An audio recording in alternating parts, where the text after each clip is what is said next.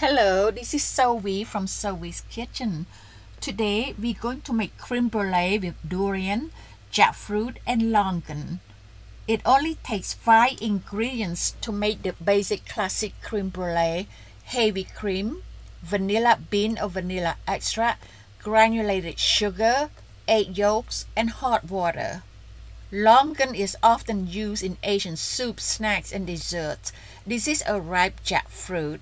In Southeast Asia, durian is king of fruit, loved or hated.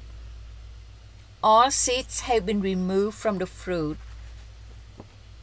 You can use whole or thinly sliced, your preference. I like using vanilla bean instead of vanilla extract for better flavor, just a personal choice. However, vanilla extract, as you know, costs a lot less. Beat the yolks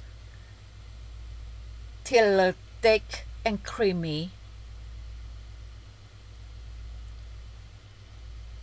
Don't let the cream boil, just almost boil. Slowly add the hot cream to the yolks.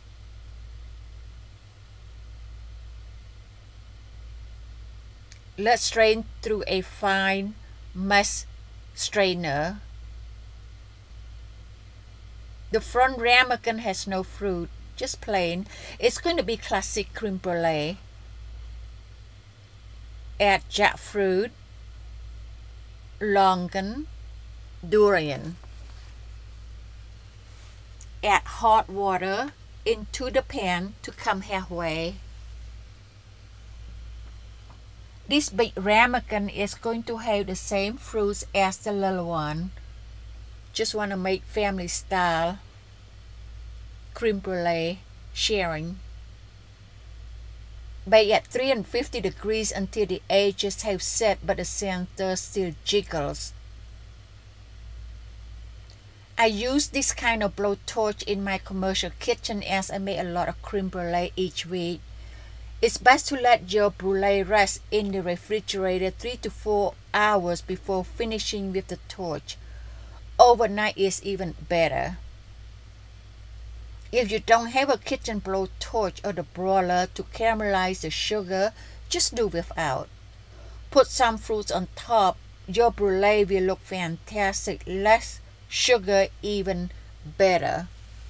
If you make creme brulee with these awesome fruits and serve at your party, your guests will be very impressed.